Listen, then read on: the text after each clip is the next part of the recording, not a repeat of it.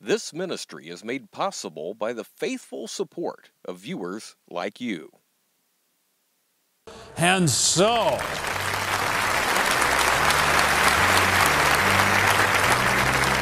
this is the day that God has made. We will rejoice and we will be glad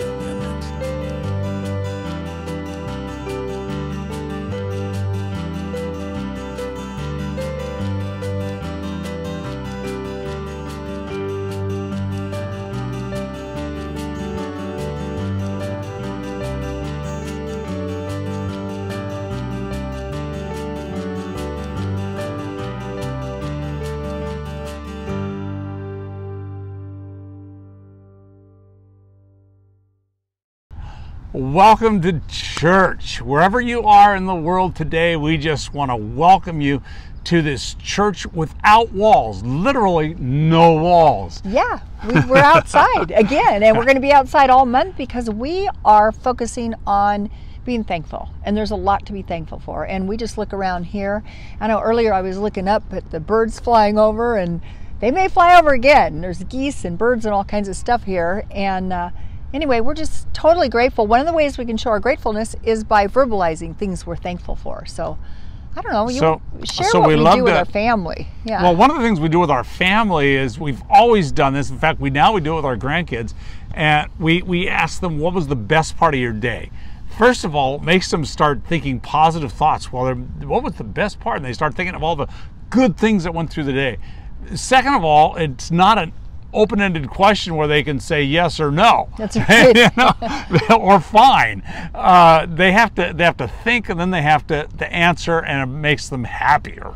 And you know, we can ask that question to anybody. Ask it to your coworkers, ask it to your neighbors. If somebody's unhappy, just say, hey, what's the best thing that happened to you today? And see what they do. Well, I can't tell you how many times I ask kids, what was the best part of school? And you know what the answer is. Recess. Recess. They always say the same thing. Then you say, what's the second best thing? Then thing? the second best thing. And uh, so anyway, we that's we we do some of that a lot. And uh, you, you were sharing with me recently some of the health benefits.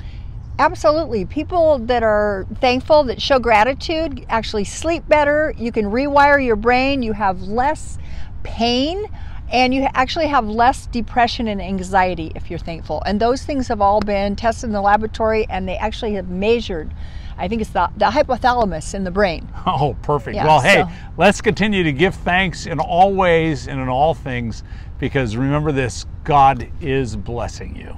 Yes, he is. There are laws of nature and absolute realities that cannot be ignored. If we do, we are left to live with the inherent consequences of our choices. After all, who has jumped off a 50 story building without a parachute or a squirrel suit and lived to tell about it? The law of gravity will not be defied, and neither will God's spiritual realities. When we fail to tithe or give back to God what is rightfully His, we frequently suffer the natural consequences of that choice and miss out on God's blessings. What happens when we tithe? We discover that the 90% goes further than the 100% ever did. That's the upside down economy of the kingdom of God no matter how much we think we can't afford to give 10% of our income to God, when we do, God always provides and fully satisfies our needs. For more, go to drschuller.org. Let us pray. Dear Heavenly Father, thank you for the goodness that you give to us each and every day. Teach us, Lord, to have our eyes wide open to your many blessings, especially in this month of November, where those of us that live in the USA have a day of Thanksgiving. We thank you for this land, the United States of America.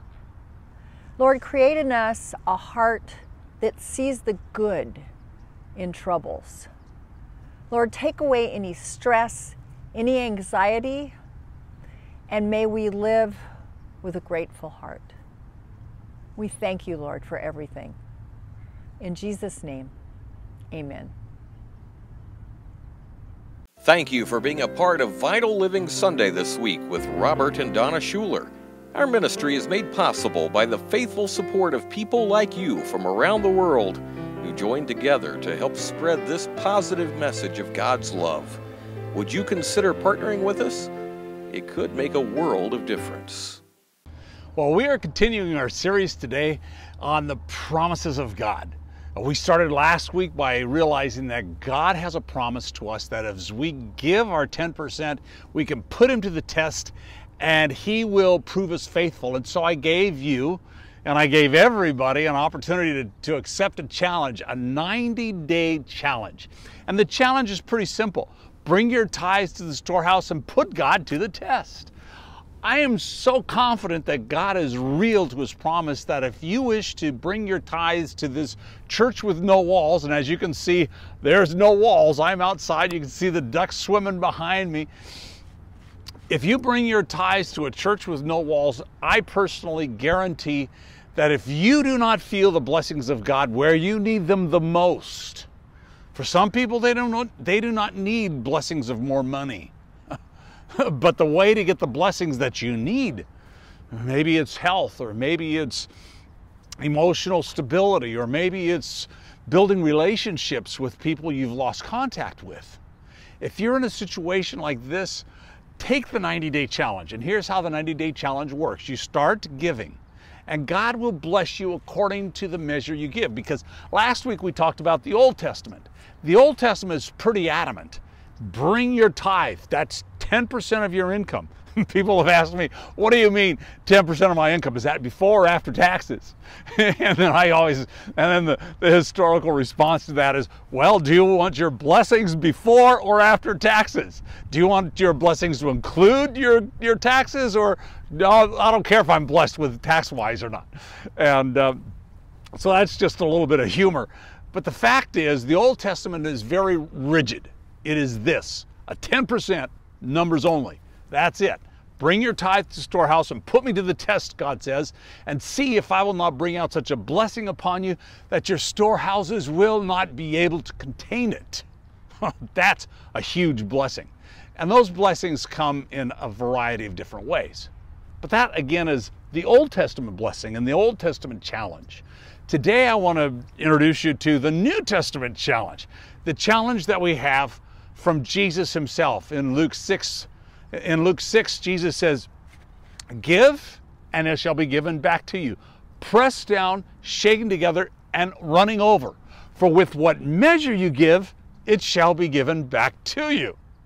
So we live in, a, in the New Testament with this, with this covering of grace. And the grace is that God knows how difficult it is for us as human beings to live in, a, in, in this world of, of laws. And as such, He wants to allow us the freedom to be able to experience life to its fullest and at the same time have the blessings in the proportion to our faith. And so we are given grace, we are given love, we are given hope, we are given the gifts of the Spirit. And so in this text, Jesus puts the tithing and the giving into a proper perspective. It is with what measure you give that it shall be given back to you.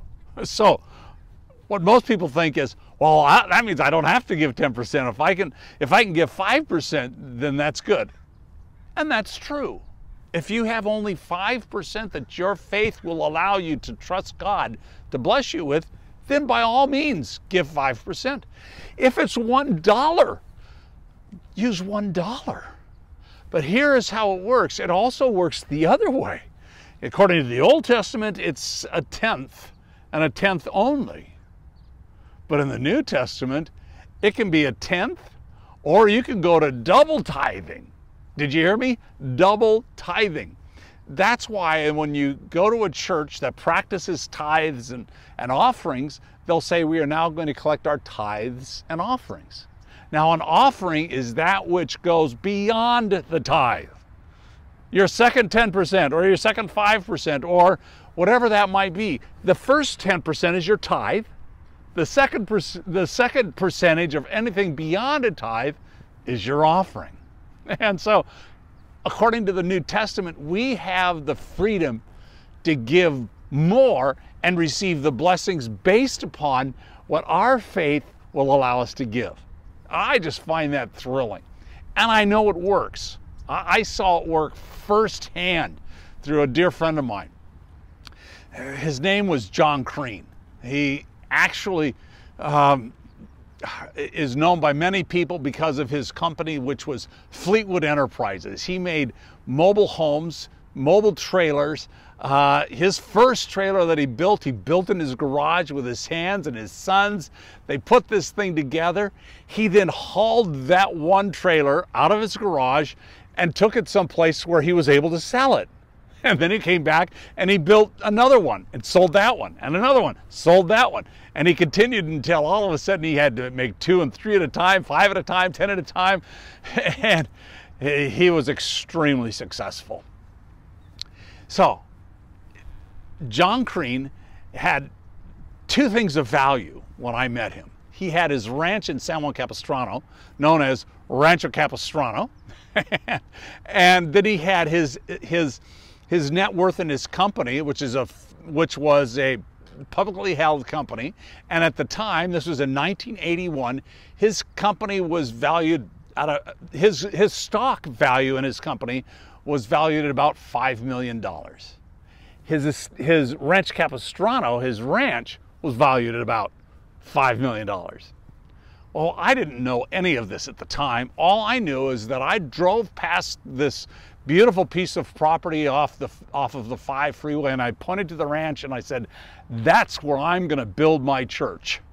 I shared that with my dad and he said, "Robert, if you're serious, call John and go meet with him right away." So I did. I literally back in 1981 there weren't cell phones. So we pulled off to the side of the road. I got on a payphone. I called his secretary and I said, I need to meet with John Crean. I'll, I'll meet him anywhere, anytime. Just tell me when and where. Now, to tell you the way and the speed with which God works, this was Tuesday of Holy Week. Thursday of Holy Week, I'm sitting behind the desk of John Crean and I'm saying, John, God wants me to build a church. And he wants me to build it on your ranch. if you're laughing, that's appropriate. Everybody I tell this story laughs. It's it's it's comical. But here I am, a 26 year old kid. I don't know any better. And guess what? John leaned back on his chair and he said, "Just last night, my wife Donna and I decided we're going to give the ranch away." I couldn't believe it. And then he drops the bomb. Boom. The bomb was this.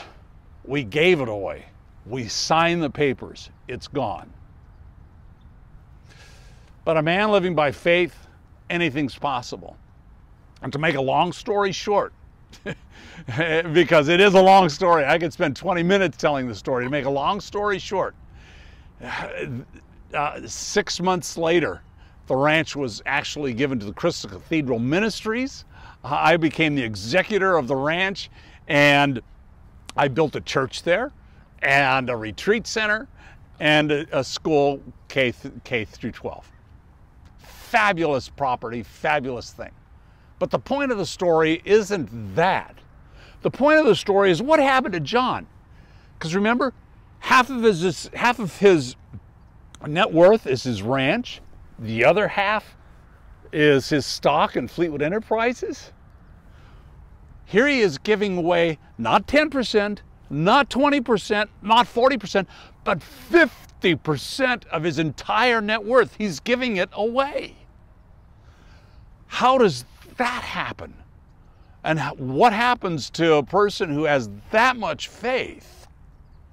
Well, here's what happened to John. I can't, I can't guarantee that's going to happen to you because your blessings may come in different ways, such as in in relationships or family or whatever you need the most because God is a God who cares and loves and is only going to give you what you really need and is going to make you a better person and draw him closer to himself. But this is what happened with John. The same time he gave his ranch to the Christ Cathedral Ministries so that I could build the church there. an article came out in the Wall Street Journal that said the, the wave of the housing industry future is prefabricated construction, and the forerunner of prefabricated prefabricated construction is none other, you got it, than Fleetwood Enterprises. So here's this other 5%, and what happened? It went from $5 a share to $35 a share, split, went up to another $35 a share. I can't do the math on that, but I can tell you, he got a lot more, a lot, lot, lot more uh, than what he gave away. A hundred percent more. That's the way God works. We can't measure it. We can't understand it. We, the, the math doesn't just work for us, but here's what we know. We know that in all things, God works together for good to bring you the hope and the joy and the happiness that you need as we live in faith. And so I present the 90 day challenge to you again today. If you haven't accepted my challenge, do it. Mark it down on your calendar this date or whichever date you decide to make your first contribution. Then write a check, go online. There's a you can donate through Facebook, you can donate through drschuller.org. Make that donation. Make that pledge. Take the challenge. Accept God's promises. Accept the word of Jesus. Jesus said it himself with what measure you give, it shall be used to give back to you. Pressed down, shaken together, and running over. so, take the challenge. Don't procrastinate. Do it today. And so, let me give you a word of blessing. And now may the blessings of God Almighty, the Father, the Son, and the Holy Spirit be upon you and remain with you always and forever. Amen. No matter where you are in the world, you can be a part of this dynamic faith community. Go online to drschuller.org today and download our community app. There you can request prayer and pray for others receive positive, encouraging content from Dr. Schuller, and more.